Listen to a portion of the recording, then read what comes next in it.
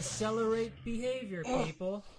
That's exactly right. Woo. There is our new music, and I hope you all like it.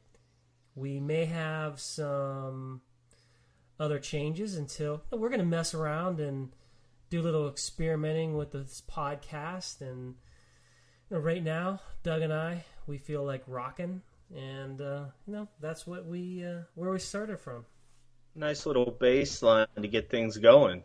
Yeah, that was actually Doug playing in his basement. He has a uh, a secret talent that he doesn't share with a lot of people, but it helps us with our podcasting. I I wish that I could even share it with myself. Well, how you doing, Doug? I'm not doing that bad. How are you doing? I am doing really well. It's always nice to talk with our podcast guests, and always nice talking with you. Same coming back at you. We have some pretty good topics today, so let's not waste any time and get right into our announcements. The first announcement is that, and I guess I already mentioned it, we are going to, we're doing some refinements to the podcast. So we have some new music there to start it out. We also, I think finally, Doug and I have gotten the technical issues down where we have the quality of our voice will be good.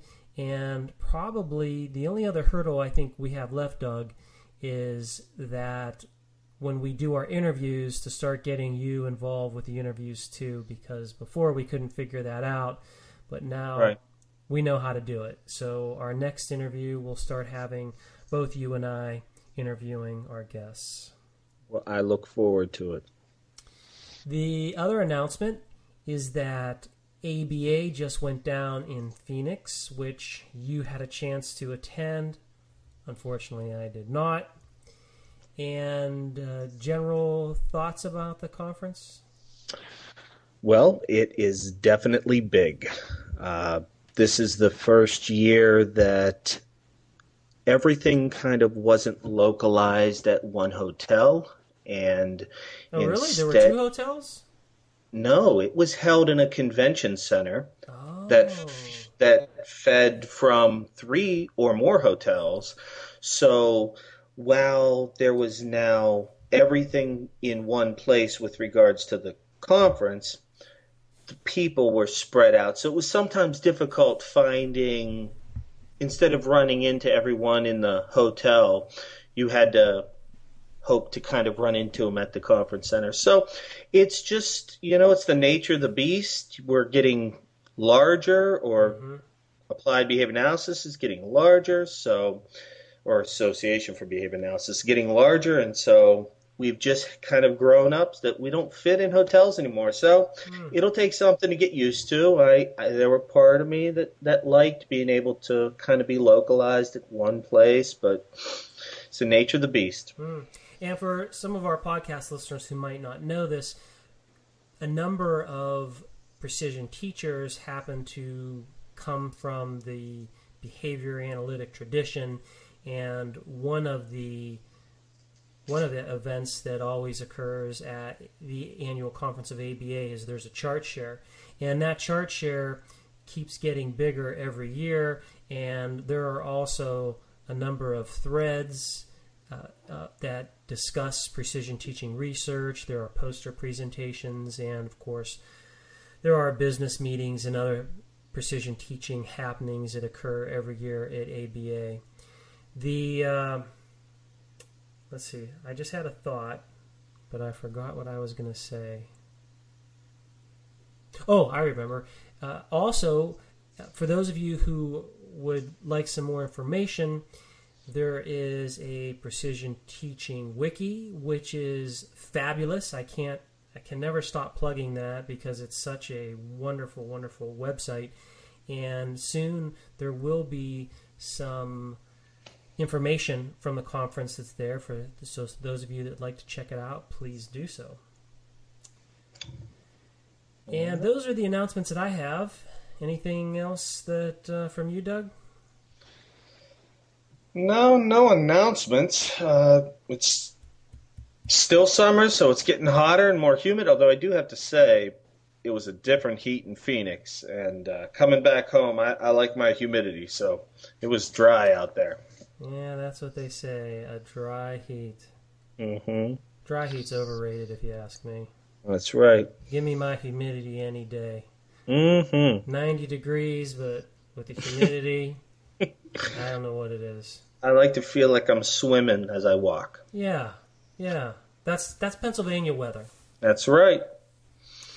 Well, I have some other. Let's move on to email question.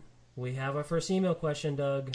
Uh, we should have theme music for the email question. I agree. We do need to have some cool theme music. Maybe that's So you- one of the refinements that we'll do. We'll have some type of cool music that is the transition from each section. That, that you took the words right out of my mouth. I'll have to think of something. Yeah, think of something. Well, let's get. Uh, here's the question.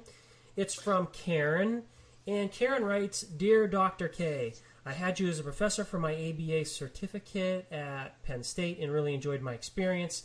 I especially, I especially liked your lecture on standard acceleration charting. You know that emphasis. I put that in there." Mm-hmm. Uh, my question is if PT and the chart are so powerful, why isn't everyone using it? The old, if it's great, why isn't everyone using it? What do you think about that, Doug? Well, let's see. I would say first off, if I was unknowing about anything precision teaching or anything with the chart, Mhm. if I picked up the standard acceleration chart, my first inclination is that it would terrify me.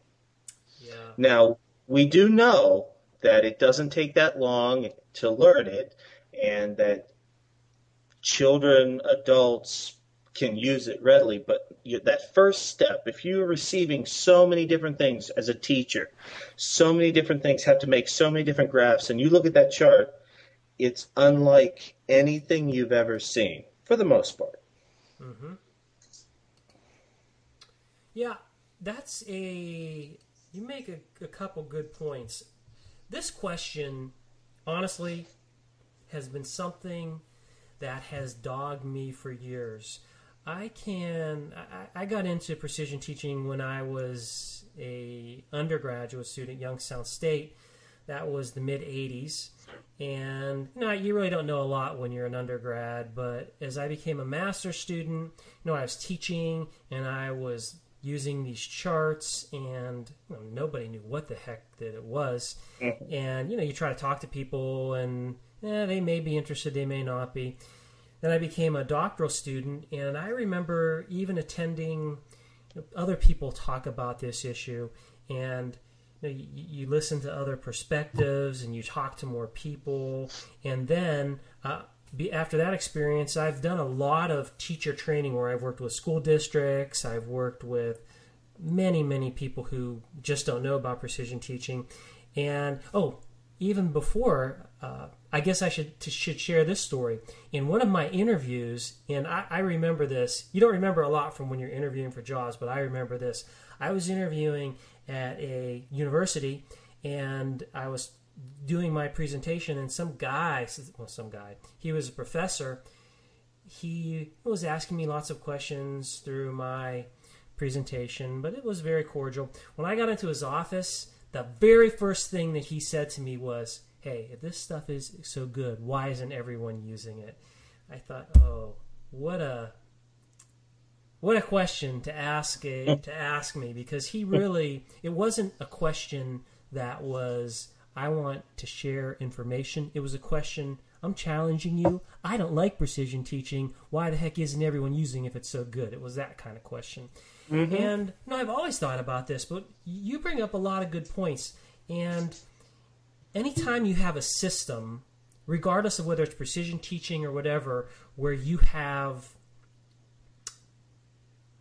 where there's technology that's involved with it, there is a cost in terms of learning that technology. Right. So you said the chart, okay? You look at the chart and you say, well, why do I have to learn this? Why can't I use my normal charts? And there are so many reasons why that's true. And I've been working on a paper for a while that I've been trying to build, you know, more so than just. I mean, we have some of that out there, but I'm trying to make this really technical. But there are so many reasons why the standard acceleration chart is the best chart that's out there for time series data. And I'll say that right now, and I'll be unapologetic about it. That is the best chart out there.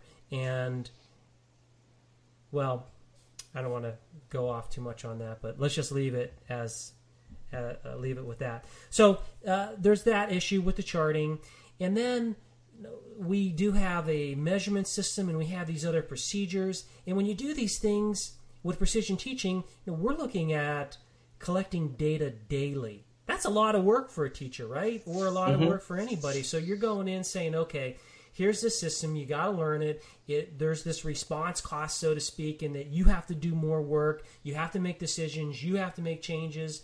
I think if you look at it just from that perspective from a human behavior perspective there what are the uh, the contingencies or what are the events that are going to compel a person to take that on? And that is a complicated question but I think by and large, if you look at, let's just take our educational system in the United States. If I'm a teacher, why would I take on, why would I learn all this information, do all this extra work for my class when, you know, no one's telling me to do it? I, I could just do whatever, uh, you know, just do the thing that I want. I'll read the kids a book, I'll pull out the sock puppets, and I'll entertain kids, and everyone's going to be happy, blah, blah, blah. Know, they're, uh, again, I'm probably, I don't want to not attacking teachers out there. Uh, I'm just using this as a general uh, a general point, right? Because we do have lots of good teachers out there, and we do have teachers that do the work that want to pick up that. But I think if you look at the system as a whole, I, I don't know. I, I guess I need to be careful. I'm not trying to say that if you don't do precision teaching, you're lazy but there are you look at the reasons why you're not doing it and there there are lots of reasons. Well i think i think you you aren't attacking and you i believe that you were saying exactly that. Um, the question was why isn't everyone using it? You're giving solid reasons compared to what they're doing it's now something different and that chart comes into play and you're talking about teachers I'll give you a quick example just from ABA presentation that I was doing. Uh-huh. I presented standard acceleration data. Somebody raised their hand. They actually they didn't raise their hand. They came up to me and, and said, "Wow, your methods are really great. Your procedures are great. I just, you know, you could have done without the standard acceleration chart. You could have done without putting it on there." And and after you said that, so, after that person said that, did we hear this? No, no, not at all. I was. We're, we're I think the. No, we're we're we're nonviolent. Um, but um, the point I'm the point you're making, it's something different. But as much as learning something new, it in learning something new, you begin to see things that you don't see using other methods mm. and other graphing procedures, and that may challenge a lot of what people do. So they not only are doing something different, it challenges the way they think, the way they look at things, and what they expect. Yeah, that's a really good point. The I guess if you think about behavior analysts, we can't even convince them to use the chart. So a teacher that isn't necessarily skilled or instructed in how important graphical display is, behavior, all the things that we know. If we can't convince this group, and then you take this other group that might be removed from some of that, that that's uh, that's an interesting point. And you're right. How many things would uh, if you use the chart? I guess for from the, that that's a question from the BA. Yeah, I guess when I'm thinking about this question, it's not just education. This is just like why isn't everyone using it? So that could be the behavior analysis community. Why aren't more behavior analysts using this? Is it going to turn something over that people might believe? Is it going to, uh, who knows, uh, make maybe show people that some things that they thought were working weren't working? Well, yeah, I mean, it, it's you talk about looking at both sides, and that was sort of behavior analysts, maybe practitioners, maybe researchers asking me that question there or making that statement in a presentation. Whereas in a recent article, I, I received feedback with regards to performance standards, which are part of precision teaching. Mm-hmm. And the educators don't like the rates that that to, that we we talk that we're going to talk about today in the article, but uh, we, they didn't like the rates because that challenges or it seems excessive. But then if you don't use both, which is again learning something new, you're not going to see why you do that. Mm. So, yeah, that is another very good point. There are, this is a good question, and we could probably devote the whole podcast to discussing this because it's a multi there's multifaceted reasons why more people don't use precision teaching. But i think some of the good news to end this question on the good news is more people are becoming interested in precision teaching and using a standard acceleration chart. You get some of this from let's say let's take no child left behind that you know while not a perfect law one of the at least for precision teachers, one of the side effects, or I should say, one of the benefits, has been the emphasis on accountability and the emphasis on having change and documenting changes. And I think more people are saying, okay, what can we do that works out there? And guess what? Precision teaching works. And if people want behavior change, and if they are under the gun to produce that behavior change, then what are they going to look for? They're going to look for things like precision teaching. Yes. Well, I personally want to thank Karen for the question, and I hope uh, others listening out there provide us with other questions because that was a lot of fun to address a question, I must say. So, hmm. well stated. Okay, let's go on to our article. Our article is written by Ogden Lindsley, and it's called is fluency free operant response response chaining? And yes, that is a question. Mm-hmm. And this is a this is a good article. Ogden Lindsley he wrote a number of well excellent pieces, I guess we could say. And mm-hmm. talking about fluency, this was it was a pretty big paper and he covers a number of interesting points here. I suppose the first thing that he starts talking about, which I thought was good, is setting the the floor for why is fluency important? Why should people even care about it? One thing that I like that he talks about, and I actually have this highlighted, he says the effects define fluency in the same way that the effects define reinforcement. And that's a good point because when you talk about fluency, and depending on who you talk to about fluency, people are going to have different definitions.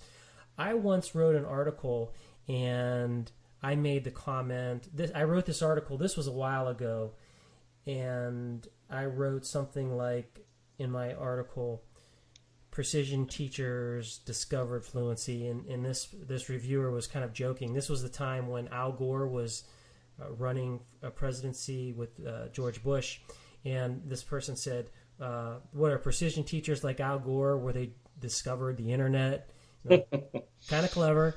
Yes, precision teachers did not did not discover fluency, but they certainly have functionally defined it, and they've done something to this concept that other people really, you know, when you look at how is it defined and how do people use it, some people look at it very differently than we do. The fluency, there are some other things that I thought were kind of interesting in this article where he talks about responses per minute and he actually puts behavior frequencies and that's being a scientist this is what's so appealing to me about precision teaching and especially about what we've learned about fluency when you put behavior in frequency. Now it's this this continuum. It's this spectrum of human behavior frequencies. And if you look at behavior frequencies on that spectrum, there's so much you can discover and so many fascinating things you learn about behavior. And that's uh, some of the things that Lindsley was talking about. For example, he talks about television commercials and he talks about some of the scene changes at 100 per minute with lots of images.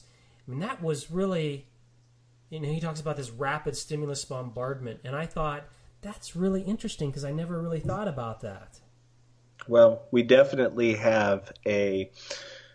Many of our kids are very adept and fluent at watching TV at this point because of how well TV does what it does. So that's that hits home, and now with my two and a half year old who watches different things and seeing all these different frequencies that he mentions and mm-hmm. even it goes so far as to say when you have a split screen and you have four different things going on at once, that that's 400 scenes per minute. Yeah. Just boggling. Boggling. You know, uh, one thing that's also popular now in our culture is gaming. Mm-hmm. And uh, I was reading a post about StarCraft. And for those people who don't know about StarCraft, StarCraft is a game that's by Blizzard, and it's uh, what is it called? An RPG? Is that uh, the... real uh, uh, real time simulator RTS or something? Yeah, but so that's the genre I suppose that it would be classified in. But in Korea, StarCraft is huge. They actually have a television show that's devoted to people playing StarCraft, and they have these announcers, and these announcers uh, will like a Monday Night Football game. They're they're highlighting the strategies and they're talking about what's going on. But this article was talking about that people who are really adept at playing this game can do up to like four actions per second, and if you think about four actions per second and you're playing in a minute, you know that's what sixty times. That's like two hundred and you know hundred to two hundred and forty. Can you imagine all of that? I mean, that's intense. Yep.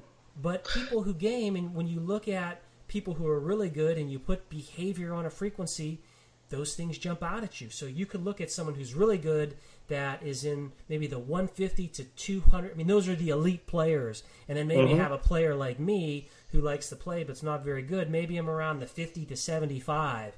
And, you know, if I play with someone who can do like 100 actions, I'm probably going to lose. Right. Just because I Definitely. can't, I, I just can't compete with that level of engagement. He would be at what Lindsley talks about as championship levels. Yes. yeah, championship levels. And I think that's also important to note when you talk about fluency. It, and I guess we, we can jump around a little bit in the article, but towards the end of the article, he talks about how fluency is a behavior that endures for very long periods of time. And what Lindsley's doing in this article is not just talking about the effects of fluency while he does do that. He talks about behaviorally, how would we define this? And he talks about it being response response chaining. And he talks mm-hmm. about his, uh, what was it, his mule?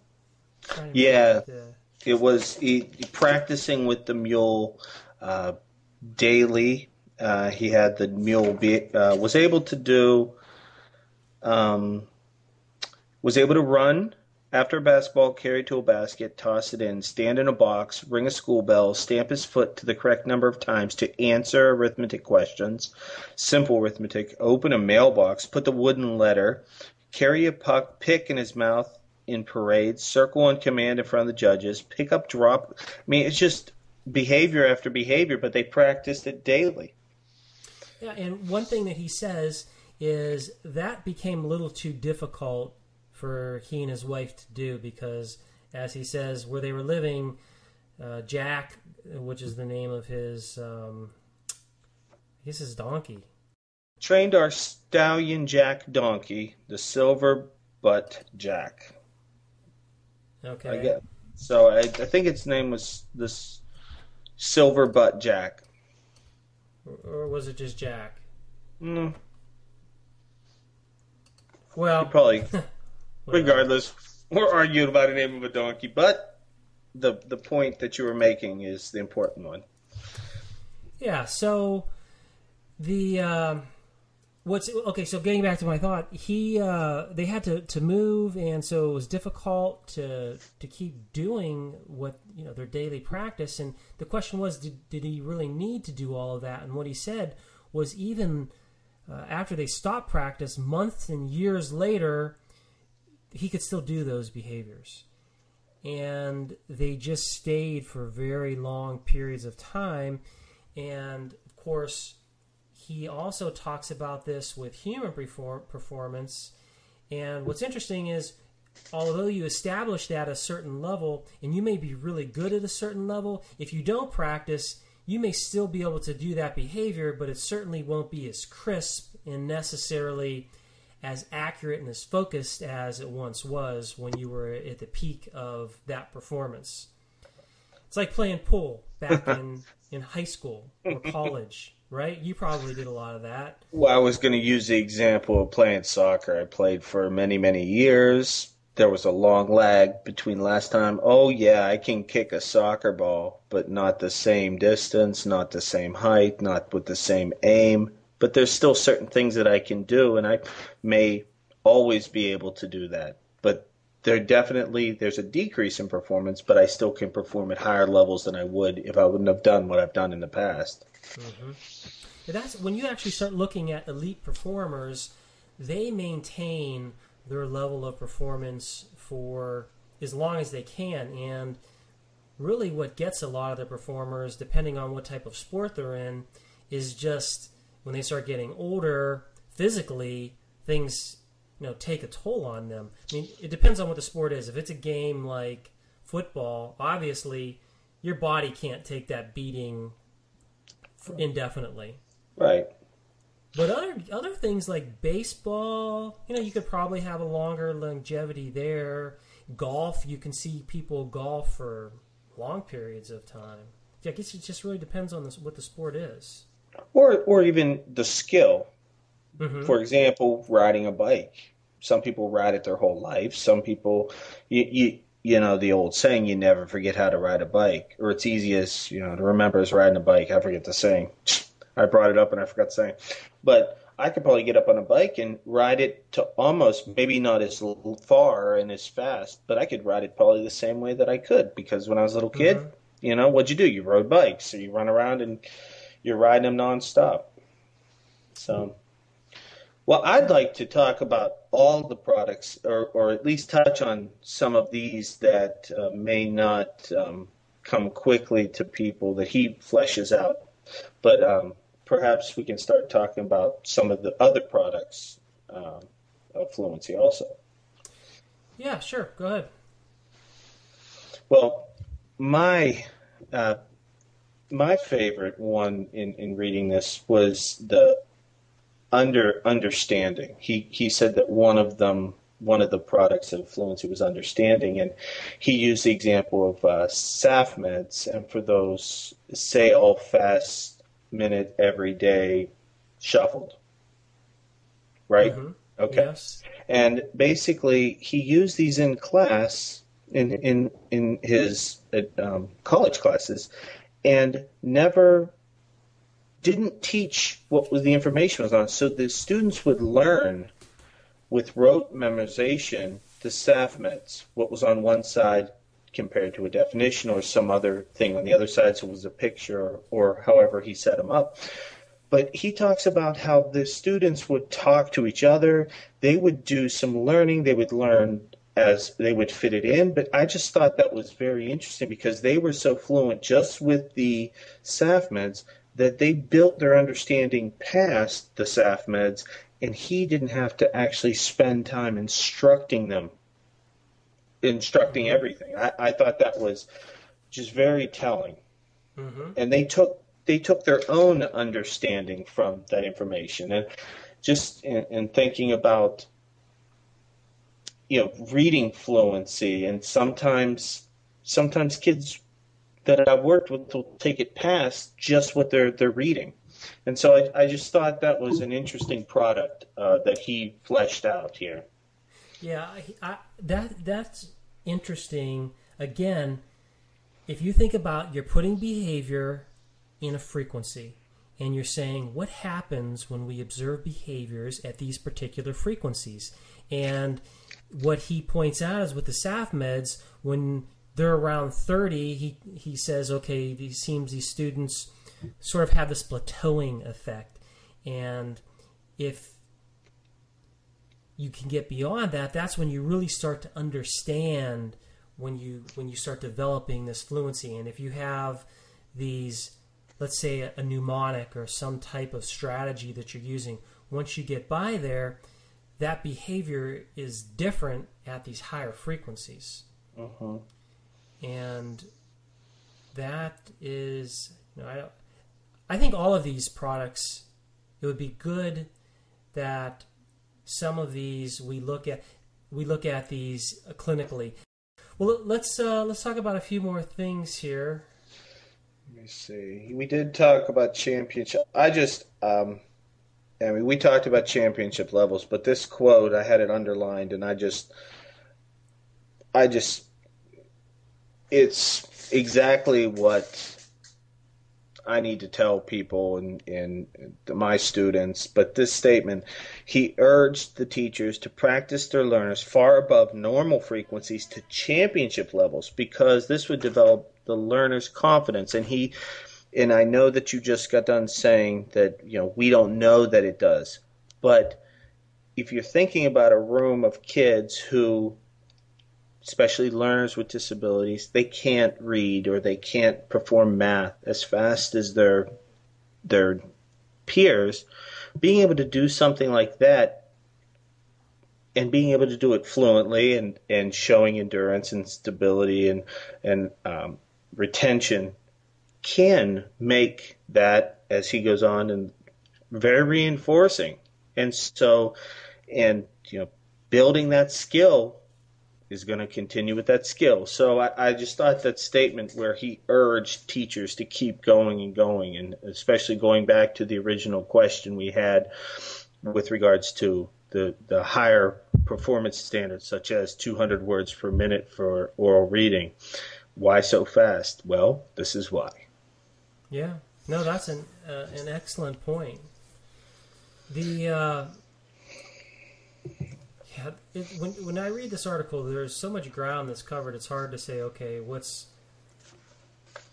what's the one thing that jumps out because like four things jump out mm-hmm. at me. Uh, one of the things, the other things that I, I think that Lindsley does here is he talks about the mechanism. You know, what is going on behaviorally? Why is this happening? And he talks about, and this is his question, and it comes from the article, and he ends this too, that fluency is it response response chaining or this linking that occurs between one response to the next response and it's it's you know he lays out the case for why that may be that fluency could be this response response these response response linkages mm-hmm.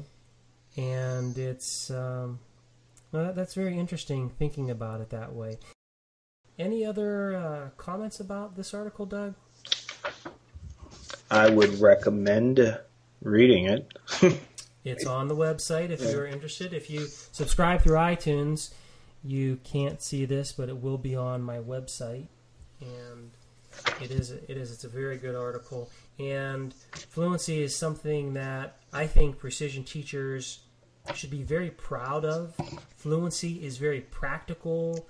It's something that, you know, again, it's not the only thing that precision teachers do, but it is something that has application for students, for all types of behavior.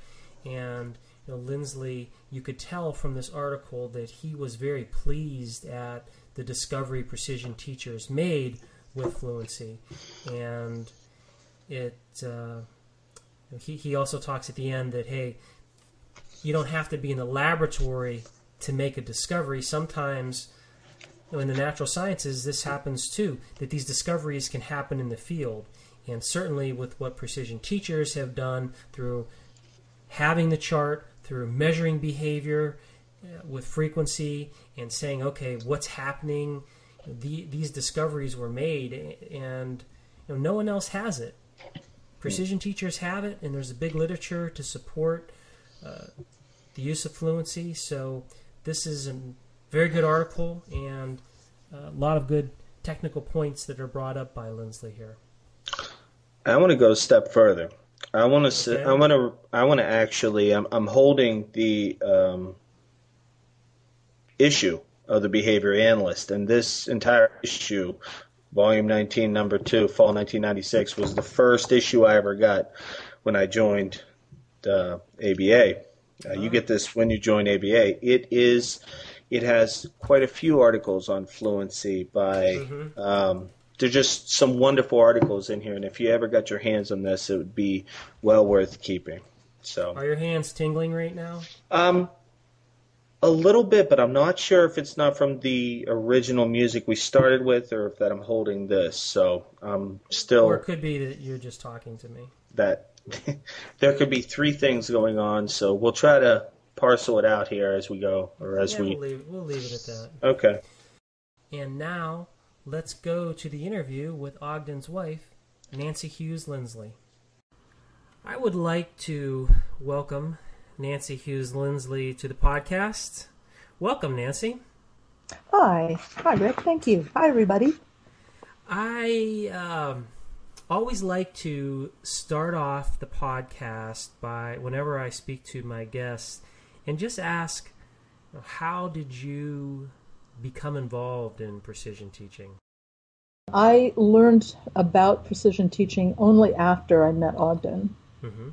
So it was it was through Ogden, and I would probably should say at this point that I have always considered myself to be um, on the fringes of of the PT community, um, wanting to support Ogden and other people in it, rather than being a um, great practitioner of precision teaching. So it was it was after meeting him that I began to. He taught me about the chart and taught me how to chart, and um, and I have used the chart some in various kinds of ways over the years. Yeah, I suppose I should have clarified for some listeners who might not know that uh, your special relationship with Og, you two were married for yes. how many years? Well, we were together 32 and a half years, and we were wow. technically married just 29 of those years. So we had a uh, somewhat of a commuting relationship for the first few years because I was still in graduate school and then had a um, um, a scholarship to work off. You know, in the I had to spend a couple of years working for the agency that had sponsored me and sent me to graduate school. So uh, we had a every weekend commuting relationship and holidays, which actually worked quite well for both of us at that you know those first couple of years. Mm-hmm. How did you meet Og, if you don't mind me asking? I met him uh, at a conference. I, I, I, met him at a conference in Denver, which um, was put on. It was called the first annual behavior modification conference, which always made me laugh. And it was put on. It was put on by the Jefferson County Department of Social Services, which is a, a suburb. Jefferson County is the county just to the west of Denver County, uh, close to the foothills, and um, it's actually where I'm from. And I had.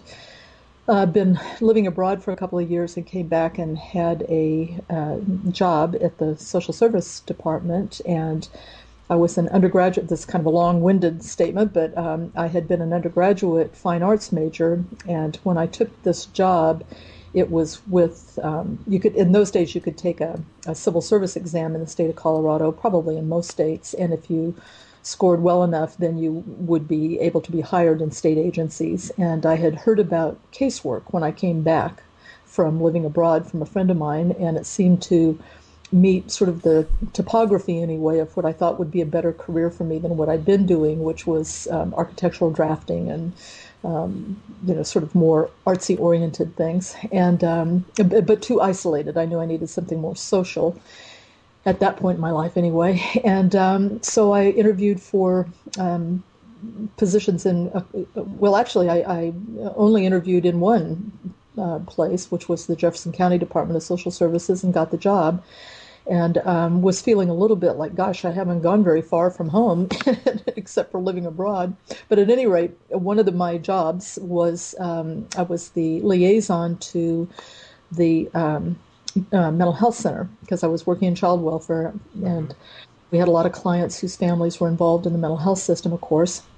And um, at one of those meetings, I uh, one of the men that was uh, working in the uh, Jefferson County Mental Health Department um, said, "Oh, you should come to a conference." And keep in mind that I was a complete naif to all of all of this stuff. I was, I think, I was in my first year of working in social services. I was uh, I had just begun. Um, graduate school. I'd been there maybe a couple of months, and um, and anyway, he showed me a, a, roster of the people who were going to be presenting, and I just remember that as he went down the list of people in this roster, he said, "Oh, and Crazy Og, you'll have to meet Crazy Og," and it, that just kind of made an impression on me. But I had no idea uh, about any of the presenters, or really not much idea about about behavior modification at all.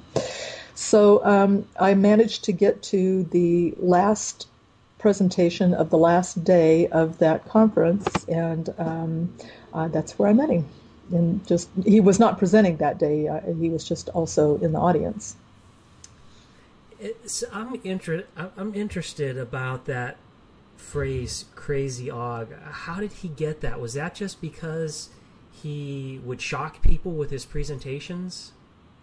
I think it was a constellation of behavior. He was so energetic and so fluent in his um, knowledge base and so funny and often so outrageous that mm-hmm. I think it was just all of those things put together, in addition to doing things that were pretty unusual for a lot of people. And one of the things that comes to mind is the the um, experiment or the demonstration that he made in one of Skinner's classes at Harvard when he was a teaching assistant, where he dyed the pigeons one red and one green and brought them in to make the demonstration. And um, other people have told me he made a point about I don't know, great ideas by sticking a light bulb in his mouth and it would go, you know, it would light up.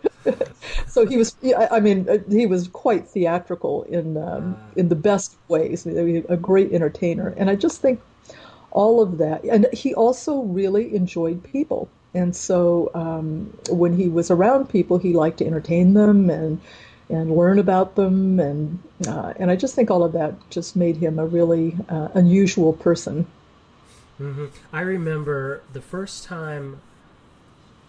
Well, I didn't actually speak to him, but the first time I ever heard him, when I was a graduate student at Ohio State, we would have once a year a teleconference seminar where we would interview you know, the great people in our field. And Ogden was a, a, few years ago one of the participants, and I was listening to him speak. And you know, people would ask him questions, and he would just give answers that were really well done. But I don't think that people were prepared for for what he what he was saying. I mean, it was really uh, very interesting. For example, he would say, uh, oh, what, what did he say that really shocked me? He was talking about schooling, and he drew the analogy that when people all use the same measure, that that's just like prison. And he said we should put all the kids in prisoner outfits, and it was it was a great, vivid analogy. But he was absolutely right. Mm. Yes, now, I, mm-hmm, that's very like Ogden. Um, he had uh, another thing that he had a great way with words and a great way with image, and I I must have heard him speak I don't know a thousand times and many times about the same topics and issues, and I never ever ever was bored listening to him. I mean everything every time he made a presentation there was always something really creatively different about what he had to say you know, all of his new thinking would come in to a, a, presentation, things that he'd learned over the over the last time I'd heard him talk about something, things that he'd pick up from the audience were all thrown in. He was a very, very creative guy. And another thing that I think uh, uh, uh, kind of made him susceptible to be calling uh, Crazy Og was um, he's such a gentleman. I mean, he was raised as a gentleman, and he was dignified looking, and he dressed well, and he spoke well. And um, at the same time, he would say something completely outrageous that looked like it would not have come out of his mouth. and I, I think that was often really stunning and surprising to people. So dressing kids up in prison garb would be really typical. Now, when you you were a graduate student, what were you what were you majoring in? Social work. That was uh huh. The I was at the DU, the University of Denver School of Social uh, Social Welfare. It was called. So you, no, gra- you... sorry, it was called. I'm sorry, it was called the University of Denver School of Social Work. Uh, Okay. When I came to Kansas, they, they were called the School of Social Welfare, and I had just begun in that program, so I was learning all the things that you learn in the early days of, of social work education, which really have more to do with uh, policy issues, social policy issues, and how those are established. And so I, I had not even come to the kind of coursework that had much to do with behavioral intervention. So you you graduated and you took a job in your field. Yes, actually, I, um, as I said, I had to. I had a state of Colorado um, scholarship from the social service department, and um, when I finished the degree, then I went back to the agency that had sent me back to Jefferson County, and worked a commensurate number of months that I'd been in, in graduate school. It was a terrific program. Um, it paid for my um, master's degree in social work, and I have never ever regretted getting that degree. So you worked in the field after that. Yes, uh-huh, I'm sorry. Yes, I went back and worked two years um, at Jefferson County in child welfare again in foster care, and I uh, then came. I waited. Ogden and I decided that I would wait until I um, had a, a job that I would enjoy in Kansas, and I was hired at this uh, School of Social Welfare at KU on a child welfare grant, and that's when I moved here. So that was the summer of that was August of 1975. And what what would you do with your job? I'm curious. Did you have a caseload where you would manage children? Yes. Um, at the time that I started in social work in Colorado, the um, the caseloads were called mixed caseloads. So it meant that you would have, at least in the child welfare. Well, I started out doing basic interviewing for people who were coming in for services, and that was um, just such an incredibly eye-opening experience because. Um, I didn't really know much about the welfare system, either people who were receiving benefits or people who were in the system because of problems with their kids or if they were on old age pension. I just I just didn't know, and um, it's a great way for anybody who's going into social services to begin because. Uh, for example, I would interview people uh, who were uh, well. Here's a here's a here's an example. I interviewed a man maybe the third day on the job, um, who was oh probably 68 at that point, something like that, 70 maybe, who had worked uh, at a blue collar job his entire life, who owned his home, who raised his children, who saved his money, and his wife had cancer and died and wiped out absolutely everything that they had. Um, he was about to lose his home, he had no income, he had no retirement left, and it was just a really stunning uh, introduction to me for what happens to people even when you play your life absolutely by the rules that society sets, and then society isn't there to help you when you fall through the crack. So that was, and I was, I did that sort of basic interviewing for I don't know a couple of months, and um, and then I realized that where the real action in the department was was in child welfare, and I went to the director of that particular part of the agency and said I'd like to I'd like to work in this this part of the agency. And um, at those at that time, there were what were called mixed caseloads, which meant that in child welfare, I had some kids who were on probation, uh, some kids who were orphaned and in the foster care system or in institutions, some kids who were um, abused and neglected and um, placed in foster care. We would go out and do the abuse and neglect reports. We would go, or when, when we had a report come in, we would go out and investigate the uh, the complaint. Um, we had relationships with other agencies in the county and um, would place kid. I had kids that I would you know find a placement for in either a foster care situation or an institution and transport the kids back and forth and. Um, if the foster parent was having a difficult time, I'd, I'd be asked out to give my two cents, which, you know, was what did I know? I was a fine arts major. that, that's why I finally went to the uh, head of the of the department and said, "Gosh, you know, I really like this work, but I haven't got a clue what I'm doing. I have no base in this. I don't have children. You know, I I, I had one brother. I never liked to babysit. I just, you know, I I, I need some education." So I applied for the the the uh, the grant scholarship, whatever you want to call it, and um, was sent to graduate school. And so I did uh, I I did that work. I guess I was there a year about the time that I met Ogden, and then worked on the vacations, you know, uh, during graduate school. Then worked the two years after graduate school, and then when I came to KU. Um, I was teaching on this child welfare grant and had a lot of contact with um, the state foster care system and the state child welfare system, and um, so and I had a private practice off and on for years, and I, I always kept um, always kept some direct service activity in my in my um, in my life. How long did you stay in the field? Um, I retired when Ogden died. Oh, so wow, I, you were working that whole time. I Yeah. didn't realize that. Yes, I um, I was in the School of Social Welfare for, I think it was six years, and the grants began to um, dry up. That was let's see, um, in '81, I believe. I applied for and got a job um, across the street from the School of so- Social Welfare at KU, and moved into the psych department, into clinical into the clinical psych program, and I was there from uh, I think that was 81, and I was there until, actually, technically, I was there until March of 2007 because when we found out that Ogden was really ill, I went in and said that I needed to retire immediately. And um, my boss at the time said, finally, he said, why don't you just kind of take all your sick leave and all your your vacation and just see where you're going with this illness and and retire later, which was one of the kindest things anybody has ever recommended to me. He was he was a really lovely guy who was 28 days older than I and who died a year after Ogden. It was just really a stunning set of losses there.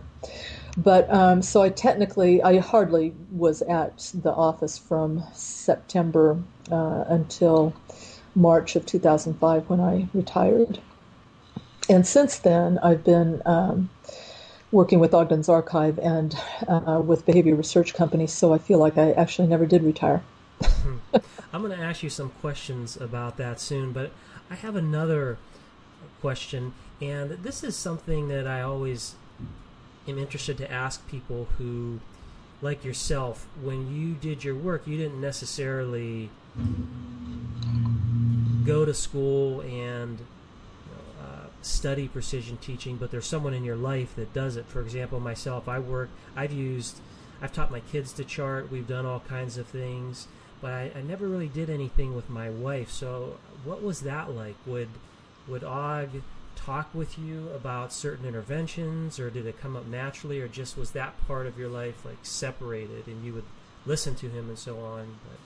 But, Oh, that's an interesting question. Um, I certainly, my hmm, my introduction to Ogden was completely social. It was not anything to do with professionally, except that Mhm. it was a professional environment where we met. And um, I don't know, we started going back and forth between Denver and Kansas City. And at one point, fairly early in the relationship, because we were never with professional people, it was just the two of us doing things, going to move, whatever we did. And um, at one point, we were in an airport, and I don't know, it, it was several times this happened that people would come up and talk to him and be sort of you know, uh, impressed by him. And I, and finally I said to him, who are you anyway?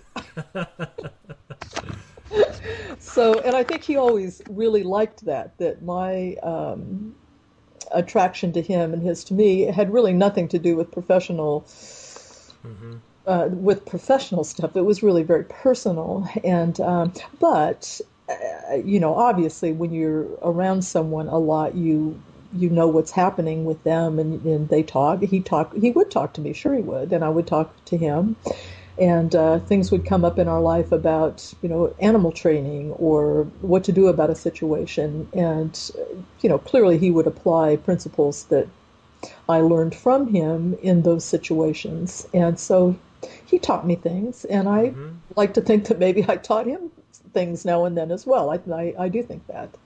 Um, i know that. Mm-hmm. so um, so i would say that i was never his pupil um, I did not ever make a concerted effort to become part of the PT community and to use PT or to be a teacher or mm-hmm. um, because I really felt like it was his thing. You know, it was his world, his field, and it looked to me like, um, you know, maybe the the better part of valor here was to have a relationship that didn't try to entwine myself too much. And he was the same with my professional life. He was very supportive. Um, if I needed to have him go with me to an event or something, he he would do that, and I would do that for him. Um, and I certainly feel close to people in the um, PT community. I've always felt welcome and a part of things, but I've never ever thought of myself as a real practitioner or mm-hmm. somebody with much to offer in the technical field. Or um, and really, in, in, in, it's not that I don't think I'm trainable, but I really it was partly by design. I, I, I thought it was better to have our personal life between us and uh, to support each other in what we did, and he agreed. Mm-hmm. Did he ever talk to you about what precision teaching social work would be like? Oh, yeah. And in fact, when I first met him, he had um, uh, a student named Judy Green, Judy Kopp Green. And one of the first things that I remember him talking about professionally to me was that um, he envisioned the world of the chart as not just uh, not just precision teaching, but he he saw the chart spreading to precision medicine, precision social work, precision, uh, I don't know, carpentry. You know, mm-hmm. he, he, thought it could be used very broadly. And, um, and Judy Kopp Green had just published an article in this uh, journal of, uh, which uh, one of the social work journals, I've forgotten just at the moment which one, that was about precision social work.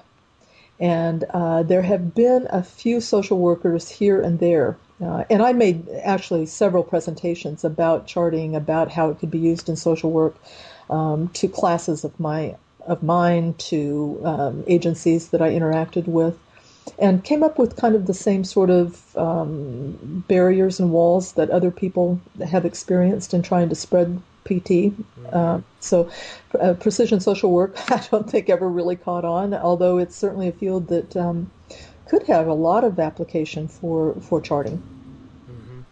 I, one of the things that where I've gone off in my career, I'm so interested in just graphing and the culture of uh, the visual cu- culture that all types of data graphics can provide, and certainly the the standard acceleration chart that is very specific to and works very well with time series data and so much of what we look at professionally are how does behavior whatever that behavior event is change across time?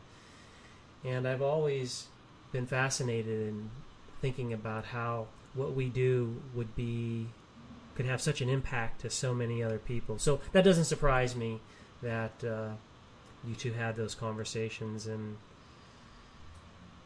well, and, uh, and also there were, you know, people around a lot. I did go to some conferences and um, events with Ogden over the years that, um, uh, you know, as I say, I always felt welcome at. And so I, I overheard a lot and I absorbed a lot. I, I maybe that's it. I, I, I, absorbed by osmosis a lot, uh, much more than I ever really made a concerted effort to, um, to, to learn in a formal sort of way. Um, and that, you know, I think it worked very well for us. Um, I think other people are able to have a a different kind of working relationship with one another. But um, you know, I was also not Ogden's first wife, and I you know sort of assessed the terrain and thought, hmm. I don't, I don't know how these other relationships have worked, but I guess, I guess I'll do this, uh, you know, the way it seems to be working for us. Um, so, yeah, but I, I don't want to make it sound as if I w- ever felt um, like I was opposed to any of these techniques or that the chart that I don't see the I do see the power of the chart. Um, I do see the power of the graphics as a as an old art major. you know, I see the power of the graphics, um, and I do find the interventions of behavior modification and behavior analysis and the way the chart can be used. I see those as very very useful and you know I, I it, it's part of why I feel a commitment to behavior research company now of trying to uh, keep the things that Ogden was able to offer people alive in his death. Mm-hmm. When one thing that people may not know about is, or may not know a lot about, is the behavior research company. Because when you think about a company, you think, okay, corporation, or you have some image of it. Can you yes. describe the behavior research company? Yes, and I'll I'll describe the the physical plant to you also, and maybe that'll be um, instructive. Um, Ogden be, started behavior research company in uh, Boston. Actually, in his behavior lab, behavior research lab, was in Waltham at the.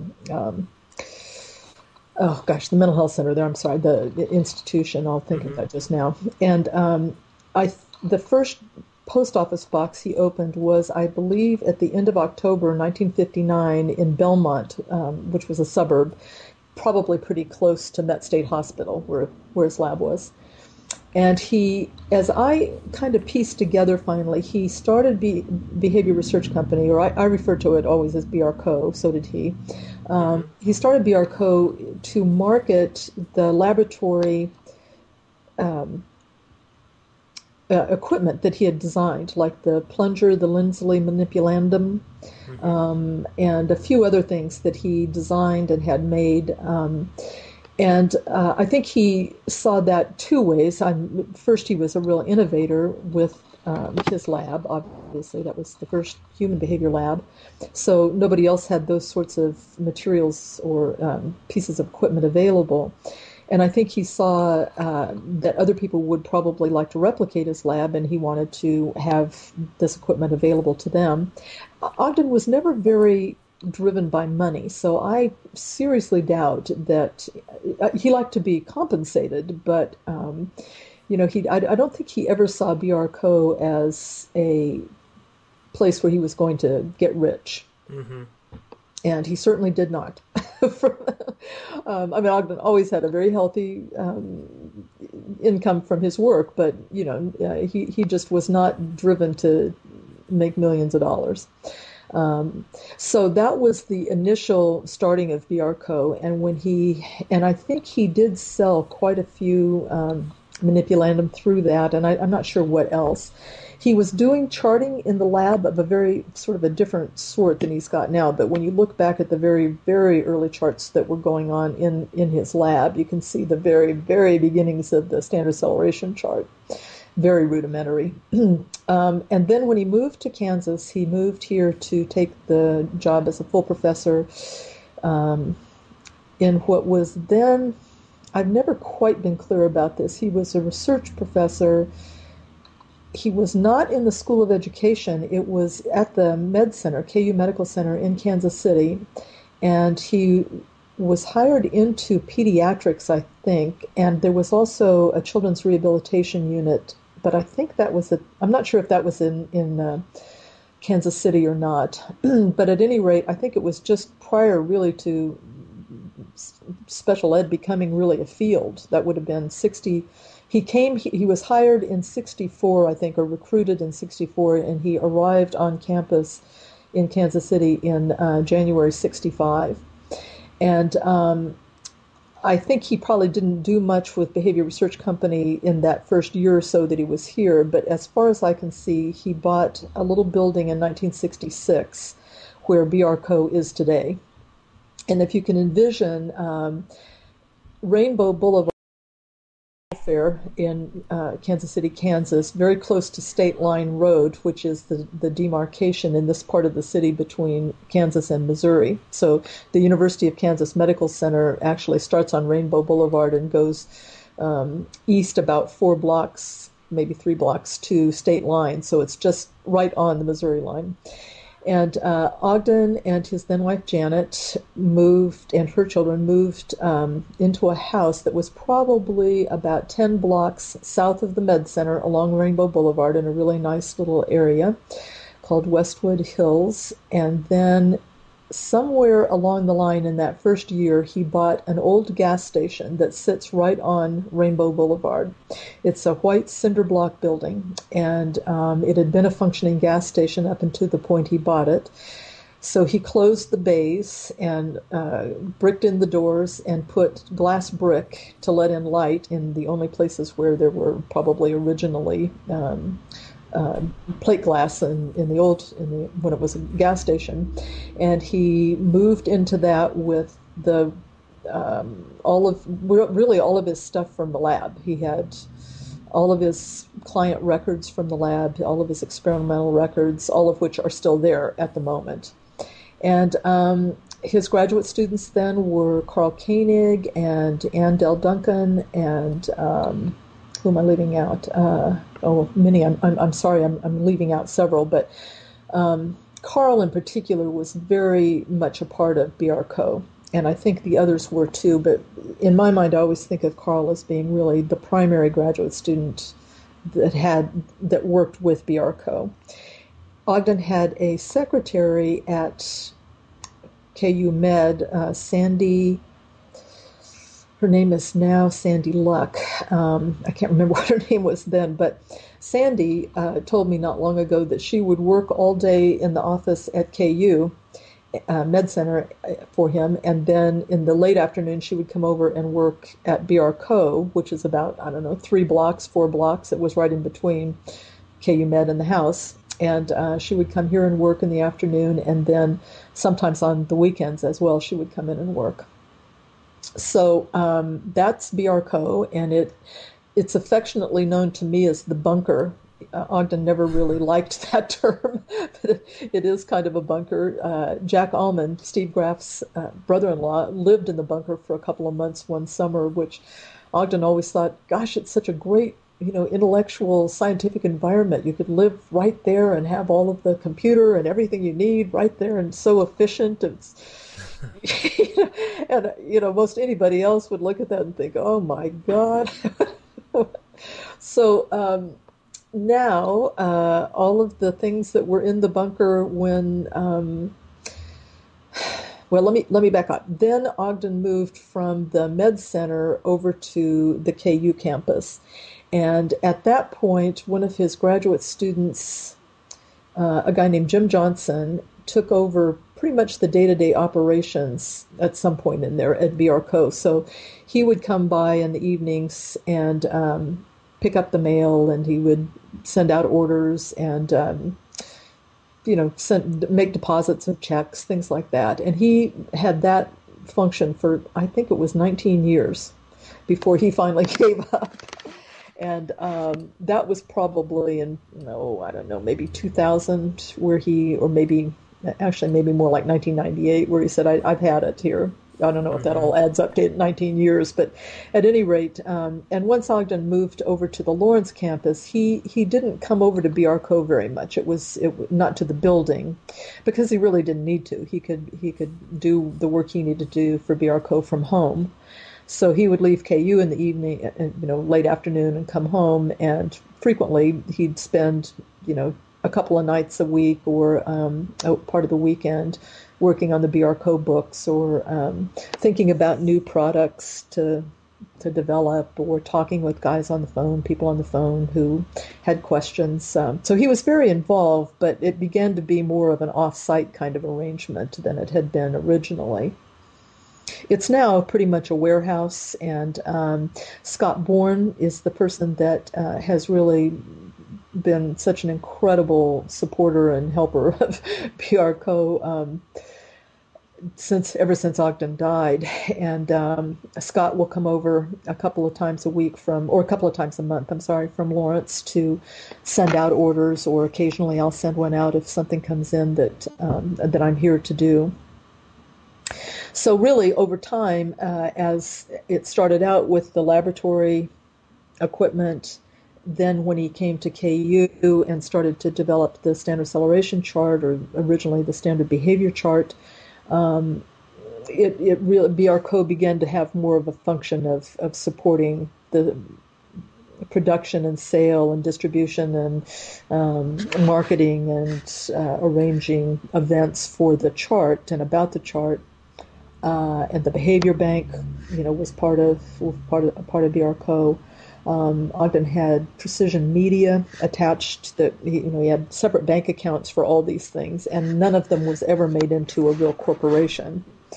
Um, so mm, some of those some of those functions, most of those functions go on today nobody's asked us for a Lindsley manipulandum in my tenure here, but um, you know we still have all the charts. Um, Steve Graf and Jack Allman have developed through Zero Brothers, which was um, the the Zero Brothers were originally Steve.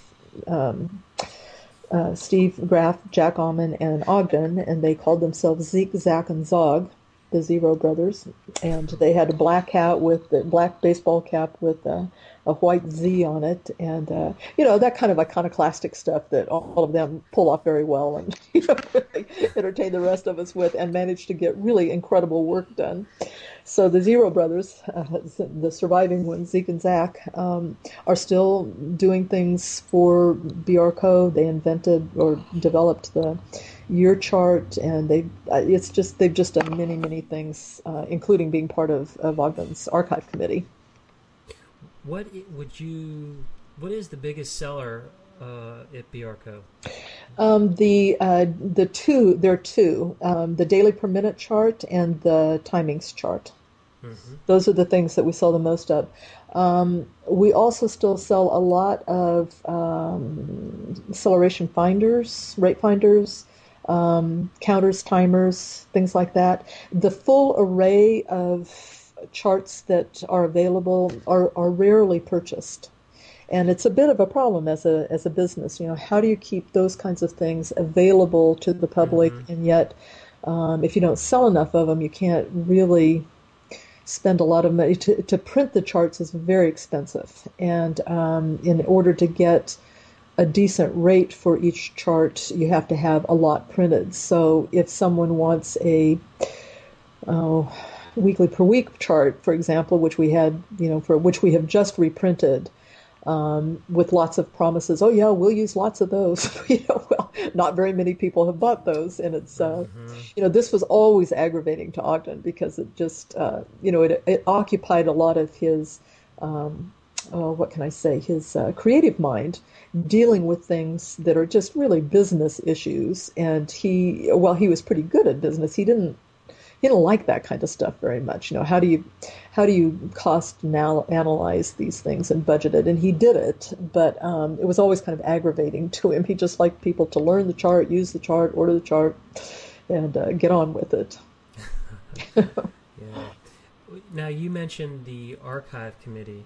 Can you talk about what the archive committee is? Yes. When Ogden realized that he was not going to be leaving the hospital in this final illness, he um, started thinking about what to do about his professional papers. I, I, should say he had actually started thinking about this a long time ago. When he retired from KU in 1990, he began to think about what what to do with his papers eventually. And um, parenthetically, he um, had several conversations with his good friend Bea Barrett about her papers and what she was planning to do with them. And one of the things he really wanted to see happen was that since Bea had more financial stability than he did, uh, he thought it would be a good combination to take her papers and his and establish an archive, a freestanding archive at BRCO in the building, in the bunker. And to take that he would provide the building and the maintenance, and she would provide some money to uh, run the little archive that the two of them would have. And part of his thought was then other people could make contributions of their papers to to the archive. That was what he really wanted. He wanted BRCO, he wanted um, other precision teaching people to be able to put archival papers there. In the end, Bea uh, was never very interested in that proposition, and she left her papers and some money to North Texas. Um, and I think uh, Jesus um, Rosales is the, the person who is pretty much in charge of, of her papers. Um, and then, so in the, so that's parenthetically. So he'd been thinking about it a long time, and I think he investigated KU as a repository, Harvard as a repository, um, and he made an early contact, which I didn't realize for quite a long time. He made an early contact with the Archive of the History of American Psychology at the University of Akron.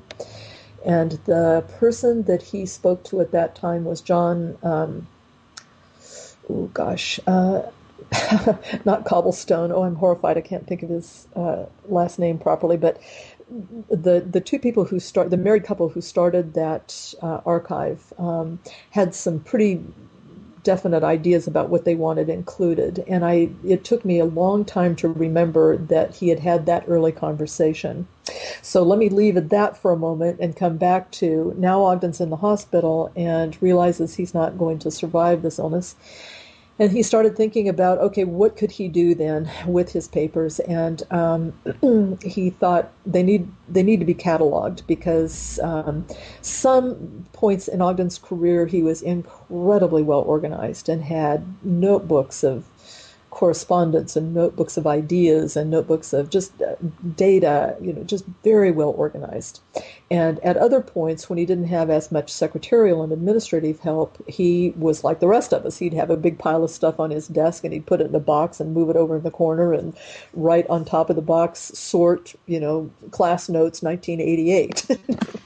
and so uh, there were a lot of those boxes around so um, he knew that that there was a lot of really valuable stuff in his papers and a lot and a lot of stuff that would be important to other people historically and to the field and he knew that there was a lot of junk so um, he thought about who and he also had a lot of things that he or several really important things that he wanted to be sure were published and he wanted those to be written. I mean, obviously, he wasn't going to have time to do it. And um, he wanted to think about who would be on his committee that would both help sort the paper and look for what was important, and who would also take um, pertinent work and uh, write up the articles that he wanted to have written. And in the end, he thought about, and I know that this really um, it, it, really occupied a lot of his thinking for a few days because he was he was not wanting to leave people out and not wanting to make a statement about um, you know whether he thought somebody was more important than somebody else in the in the world of um, you know his his colleagues uh, to ask them to be on a committee. Mm-hmm. But um, I think he really winnowed through trying to figure out who would have something, who would have knowledge of a particular area or time, who would have maybe time to be involved, which of course, you know, that's really tough for anybody.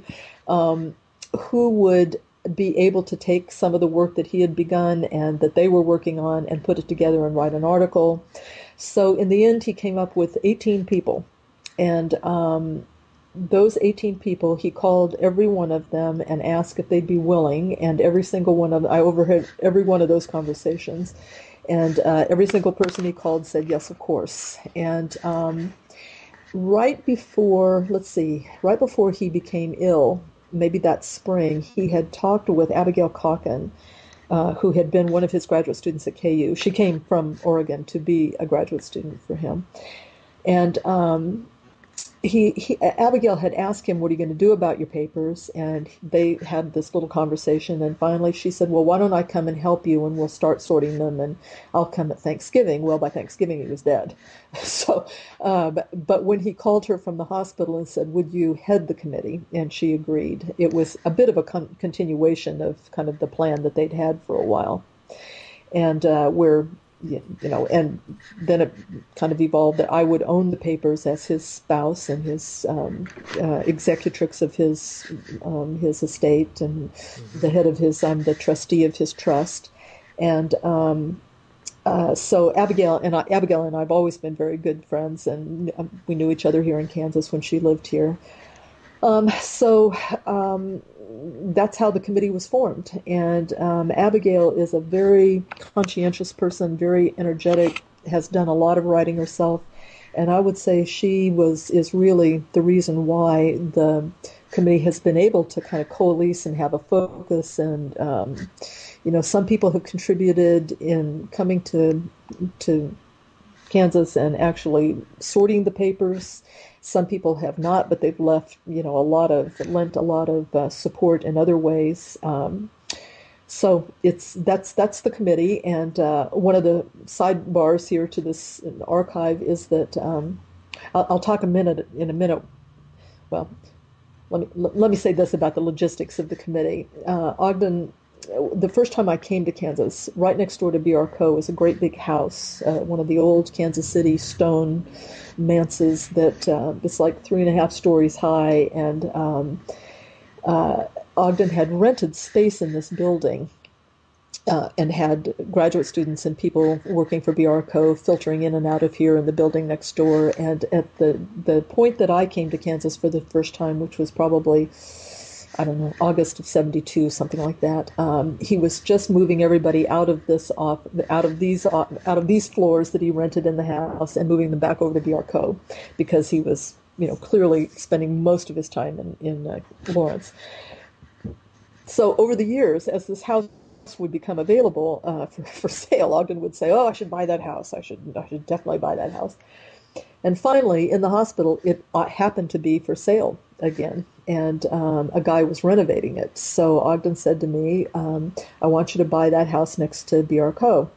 And you know, classic Ogden. We already had property in Montana. We had the house in uh, Hawaii that we were planning to retire to within about six months of the time that he was ill. We'd already bought the house. We had a whole setup there, uh, and uh, and we had the ranch west of Lawrence, and uh, you know we had plenty of property. And I said, Well, what do you want me to do with that house next door? And he said, I, I don't know, but I think it will figure into the archive in some way. So um, I bought the house on contract from the guy who had it for sale. And um, and at that point, my dad was ill, and I spent quite a lot of time in Colorado until my dad died a couple of, of years after Ogden did. And in June of 70, uh, I'm sorry, June of 2007, I moved back to Kansas City and moved back into this house while I'm renovating the ranch. Okay, so that said, then this gave me a place to bring all of the boxes of papers that were in the house, the, the ranch house, over here to Kansas City, put them in the basement, and to run this house as kind of a little hotel for people on the archive committee.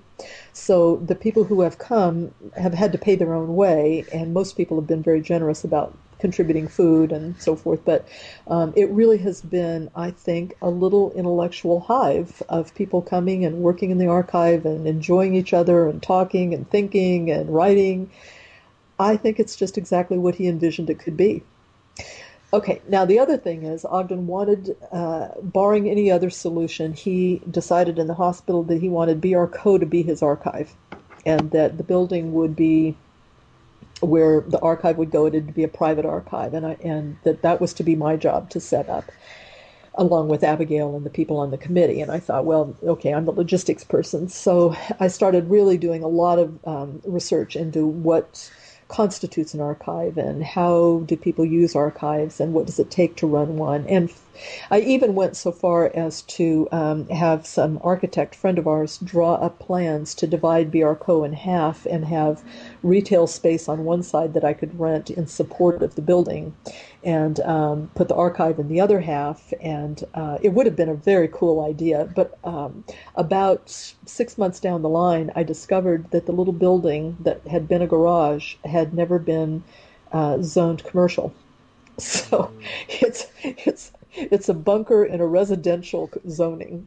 So um, the upshot of this is that that very clearly was you know kind of a waste of money to invest. I, I just had no idea that it, you know if I had tried to convert it into a more overtly commercial space.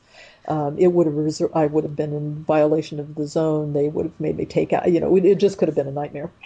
So then I started thinking more seriously about well, should it be here in the house? What else can I do? It could be at BRCO, but uh, you know, how am I going to maintain the building? I'm not going to live forever. How's this going to endure?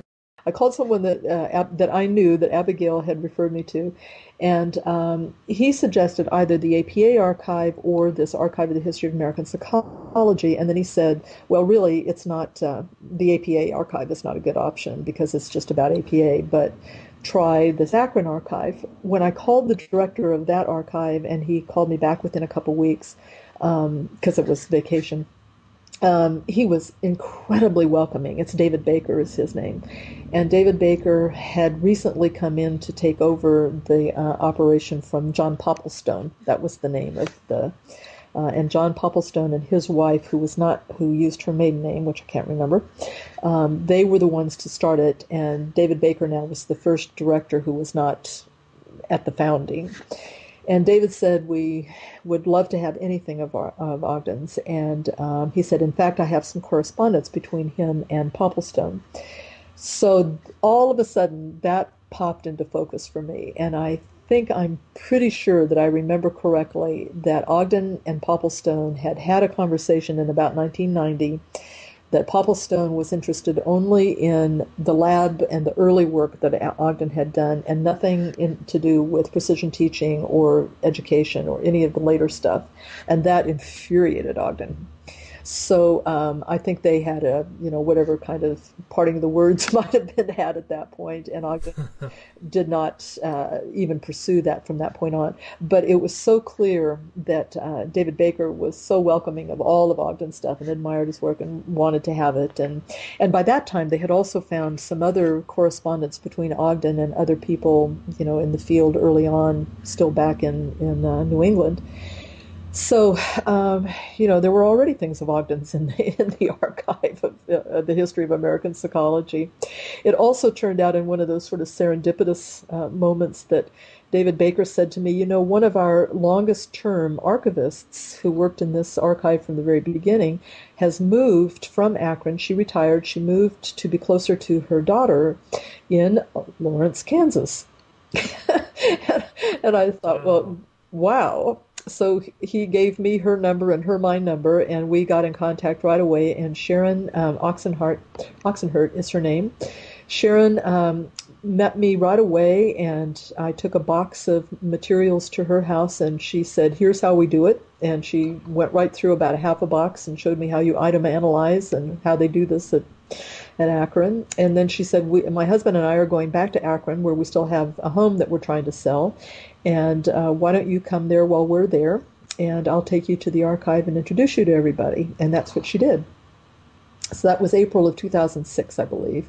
And as it happened, uh, Jack Allman and Steve Graf had been here uh, in Kansas City working in the archive, and they came uh, over to Actually, I have to say they moved all of the boxes, almost all of the boxes, out of the ranch house and over here. So they they have done besides intellectual labor, they have done you know physical labor in behalf of the archive, and um, they came, drove over from from Youngstown, and Sharon and I and Jack and Steve met with the uh, with the staff at the archive. So the plan is they taught us how to archive according pretty much to their specifications, and we're organizing the whole um, collection and uh, various things that people need to do the writing that Ogden wanted to do are being photocopied and distributed to the people who said that they would take those tasks on. and uh, we're getting almost to the end of that. And I believe that the archive will be pretty much done and ready to go to Akron by the end of of uh, um, June this year, 2009. That's excellent. And it will be ready. Uh, one of our concerns as a committee was that if it went to the archive uncatalogued, that it would be hard for the people to, for the committee members who'd been asked to, to write, uh, to get into the materials and find anything. It would have been impossible. Um, and it would have probably been a couple of years at least, maybe more, for the um, archive to get around to having the the person power to to do the archiving, unless we could contribute money to it, which I just didn't have enough money to make that uh, realistic. So uh, now, when it goes to the archive, it will be available um, to the public pretty quickly. I'm certainly looking forward to that. I'll be taking a trip to, to Akron. Terrific. Uh, it's a it is a very professional, very well run organization now, and they they have been given a building. I believe it was Roadway contributed a large building in downtown Akron, down the street from where the archive currently is, and they're they're raising money uh, right now for the uh, for the archive, for the new building, the restoration, and they have, you know, a plan for if we only get this much money, and a plan for this much money, and a grand master plan, all of which dovetail together. And what, one of their hopes is that by the time the building is completed, um, there will be lots of room for displays of um, not they're not just a paper archive. They they will accept um, uh, you know all sorts of artifacts and including some personal artifacts like one of the things that i'm planning to send is an oak chair that ogden um, we had in our house all the years that we were married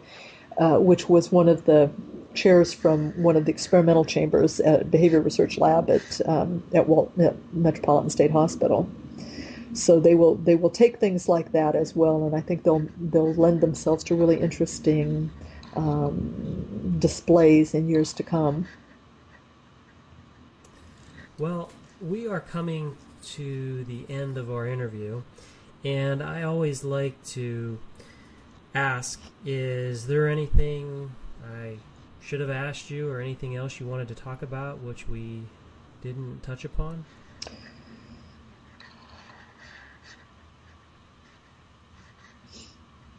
Well, uh, no, not that I can think of particularly. Um, I hope I have represented Ogden fairly as a fascinating person. Uh, he was a great marital partner. Um, uh, I'm happy to have a way to help kind of move things along to the next step uh, with BR Co. And um, so I guess that's it. Thank you for the opportunity, Rick.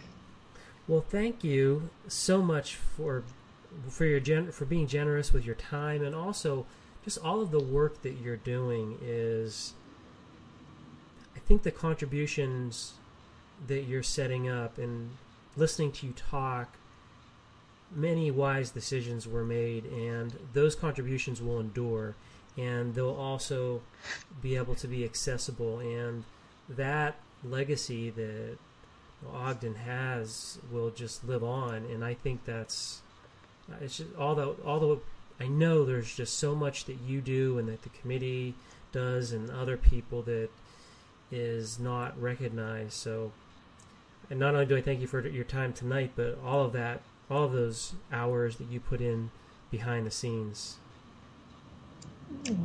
Thank you so much, Rick.